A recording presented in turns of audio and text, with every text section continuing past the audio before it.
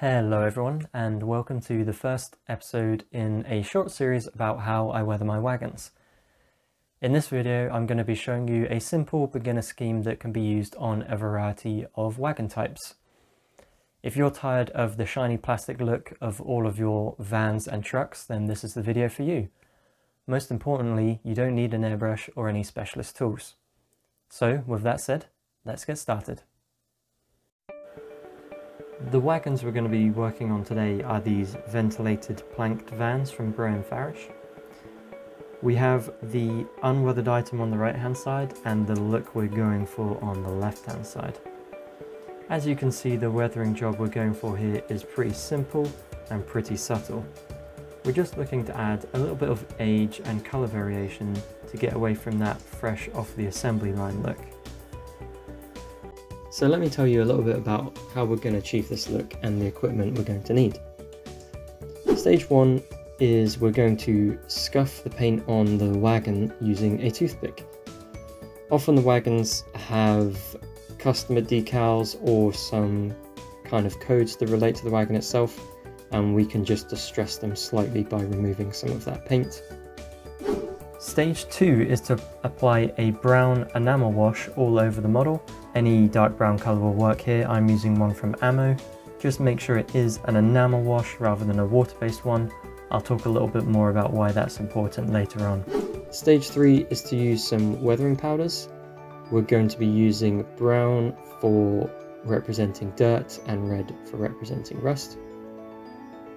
And then for the fourth and final stage, assuming that your wagon has a roof, like these ventilated vans, then we're just going to add a bit of colour variation to the roof using some oil paints. I mix up a dark grey colour from black and white, but if you have an appropriate dark grey colour oil paint, then that will also work just fine. And in addition to this, you'll obviously need some brushes. You can just use old ones for this because they're going to get damaged pretty quick and we're not doing anything that's particularly precise. And you will need thinners for the oil wash, water, kitchen roll, cotton buds, and all that kind of stuff. So with that said, let's look at stage one. So let's begin with stage one, scuffing the paint. Now, this wagon doesn't have a huge amount of paint on it, but that doesn't mean we can't achieve a nice little effect on the letters that are there. Grabbing the toothpick, I would start quite lightly rubbing it across the painted area and just see what happens. I find some of the paint comes off really easily and some of it requires a little bit more effort to get it to come off. So just start off lightly, pull the toothpick away and inspect what you're doing and make sure you that you're not entirely removing the paint. We're just trying to scuff it up and let some of that base colour of the wagon come through just to make it look like the paint has faded and chipped slightly. The key with this whole weathering process is to just take your time. There's no rush, and once you're used to the process, it won't take much time at all to weather your wagons. The thing with this first stage is it's the only one that isn't reversible. Once you've removed that paint, it's pretty much impossible to get it back on there looking neat unless you go down the rabbit hole of applying your own decals and similar things. So just remove a little bit at a time, check it, make sure you're happy, and if you want to remove more, have another go at it. So once you're done, you'll have something that looks a little bit like this. On a piece of rolling stock like this van which doesn't have much paint, it's a very very subtle process.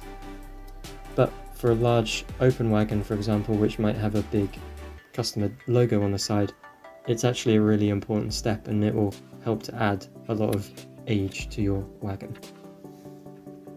So now let's look at the enamel wash stage. For this process any dark brown colour will do.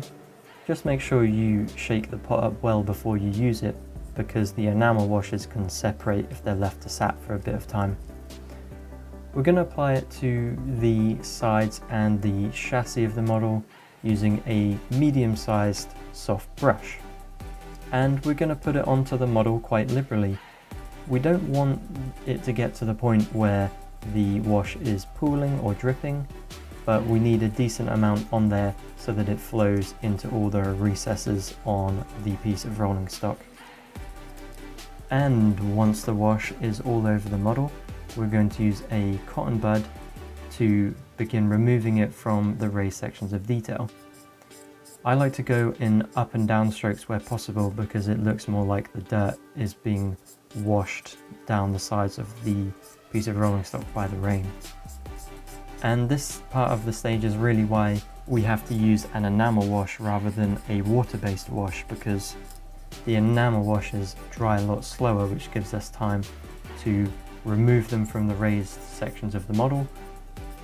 If we didn't do this then the whole model just becomes very dark and we have less contrast when really what we want is more contrast. A little tip here, if you're finding the wash isn't coming off as much as you'd like or you've applied way too much and you need to remove a drip stain or something like, like that, dampen the cotton bud very lightly in appropriate thinners and then use that to remove the wash and you should be able to pretty much get the model looking exactly as it did before you started. So once you're done you should have something that looks like this. This wash stage works so well on planked wagons because there's so many fine creases and things like that for it to sink into and it really makes all the individual planks stand out and also the metal banding running up the sides of the wagon we can begin to see the individual rivets which are actually moulded in there and it really brings out all the detail. So the weathering powder stage, this is where things start to get a little bit messy. You may want to put down some kitchen roll or something like that. I've got this little modelling mat that I'm using and I make sure I wash it after I use weathering powders on anything because otherwise next time you sneeze you make a horrible mess of your desk. So these things are super versatile and can be used to make any number of effects. If you've watched any of my series on making my small Inglenook shunting puzzle layout, you'll know that I use the weathering powders to weather my track for example. So the great thing about weathering powders is that they're one of the easiest ways we can achieve nice blended effects without using an airbrush. So if like me you don't have an airbrush, I'd really recommend experimenting with these.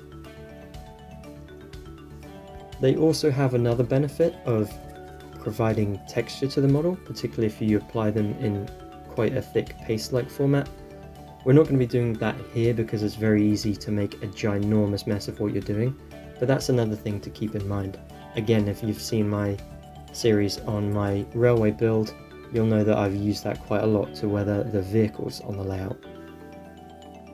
So we're going to begin with the rust color. I'm using Track Rust, uh, which is a MIG product. Again, any kind of dark red's going to do just fine. My thoughts here are that you put the rust underneath the dirt because the rust would come directly from the metal and the dirt is going to fall on top of it. It seems to give me a better effect, so it's what I'm going to stick with. So using a very old and very scabby brush, we are going to apply a little bit of powder at a time. And whilst we're using this rust colour obviously we're not going to put it on the wood. We're just going to keep it on the metal. So around the chassis around the axles and maybe a little bit along the kind of metal banding that goes up and down the sides of the wagon.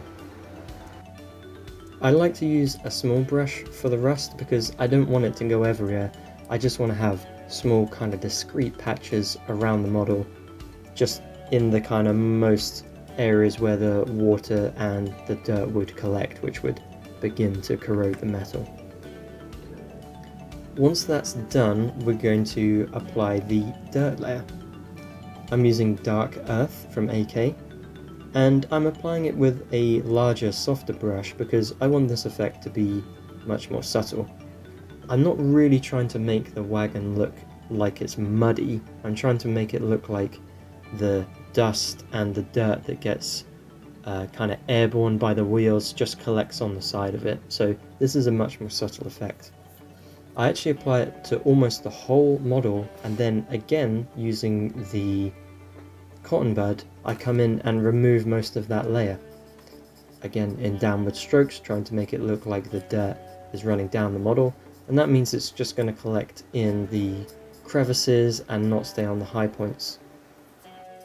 I do find with this stage, most of the time I need to come in with a dampened cotton bud, so I'll remove most of it with a dry cotton bud, and then dampen a cotton bud in the thinners, dry it 50% back off on a paper towel, and then use that to remove more of the weathering powder if I find the effect to be a little bit too overwhelming. If you've only applied a little bit of powder and most of it's coming off, don't worry about the thinners, just use a dry cotton bud and see where you end up.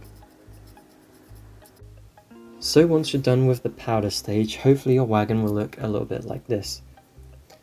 It's really starting to show its age and, in my opinion at least, no longer looks like a little piece of plastic.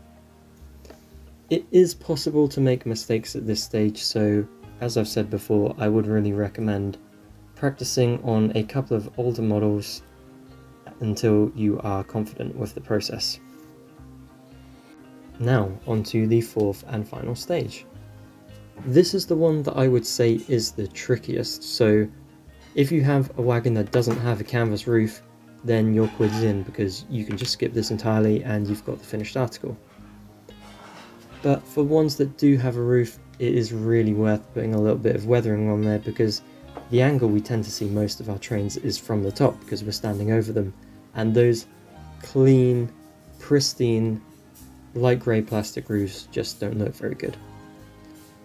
So what we're going to do here is just add some very subtle colour variation to the top of the roof just to get rid of a little bit of that sheen and to make things look a little bit more realistic. So you can make life slightly easier for yourself if you just have a grey oil wash, but I just have black and white so I mix them on a piece of kitchen towel. I would recommend putting your oil paints onto a piece of kitchen towel because there are some very fine oils in them which the which the uh, towel will very quickly absorb and just makes the next process a little bit easier when the paints are slightly thicker and don't have that kind of layer of, of uh, thinners on them. So once that nice dark grey colour is mixed up, I like to come in with a small brush and stipple that colour onto the roof of the wagon, trying to put it in a kind of random pattern, not focusing too much on one area or the other, just stippling it on there. And once that's done, I take a large flat brush, dip it in thinners, and just like with the cotton bud, scrape it over a piece of kitchen roll to turn the brush from being wet to just being damp with the thinners. If the brush is too wet, it's just going to end up making a mess. You'll kind of get a, a feel for it once you've practiced it a couple times.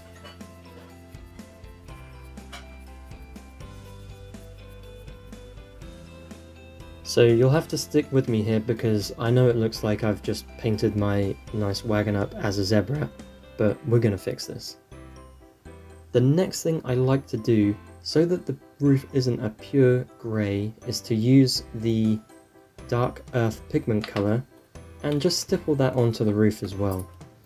It will stick really nicely, so only use a small amount because it, the oil will kind of grab onto it, so make sure that your brush, when you're applying it, doesn't have too much pigment on, otherwise you'll end up with a big clump. So once we've added the weathering powder, we're going to once again blend that in with the flat brush until it looks nice and smooth. And then we're going to come in with our Lord and Saviour, the cotton bud, and remove most of what we've just applied. We want the effect to be nice and subtle. It shouldn't look like it's made out of cat hair. We just want a little bit of colour variation, add a little bit of dirt and grime on there, and then things are going to look great. This stage really is probably the most difficult and requires the most practice. Again, it's easy to redo it. If you if you do too much or make a mistake, just wet the cotton bud with some thinners. That will take the pigment and the oil paint right off and you'll be able to start again. As I've said before, just do a little bit at a time, see how it goes and practice until you're comfortable with it. It looks a little bit tricky, but honestly, once you've done it a few times, uh, you'll be doing it in your sleep. So there we go, the finished article. The wagon is looking suitably decrepit and the roof has a little bit of colour variation on it as well and I think the model is looking a hundred times better than its plasticky finish that we began with. Once this is all done, I would recommend putting the wagon to the side for at least a day.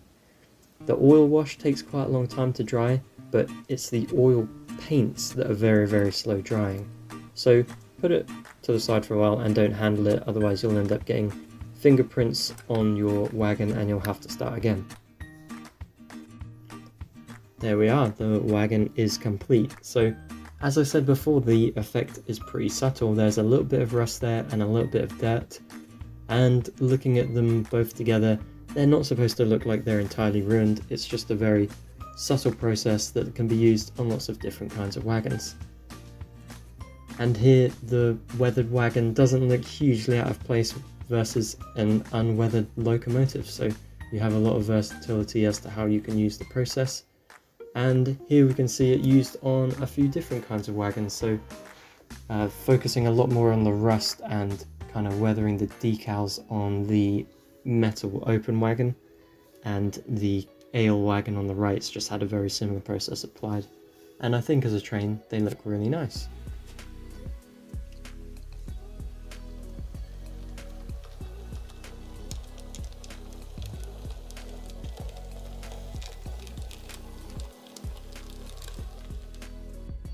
So that about sums it up for this video. Thanks very much for watching everyone, I hope you enjoyed it and I hope it was useful. I'll catch you next time.